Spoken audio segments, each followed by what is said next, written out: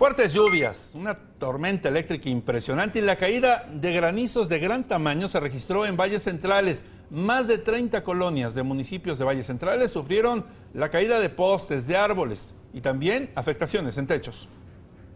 Una fuerte lluvia acompañada de granizo, así como una tormenta eléctrica registrada en los valles centrales de Oaxaca, dejaron postes derribados, daños en semáforos, árboles caídos, señalética vial colapsada, inundaciones y automóviles varados.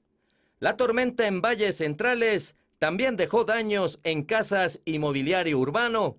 Entre las afectaciones resalta la registrada a la altura de la avenida La Paz, donde una inundación provocó que varios automóviles quedaran varados bajo la lluvia.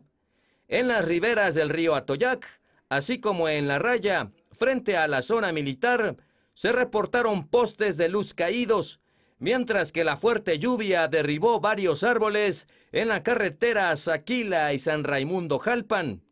Ante la tormenta, la Coordinación Estatal de Protección Civil y Gestión de Riesgos recomendó a la población alejarse de árboles aislados, cercas metálicas, bocas de cuevas, tuberías mecánicas, motocicletas, maquinaria, cerros y lomas.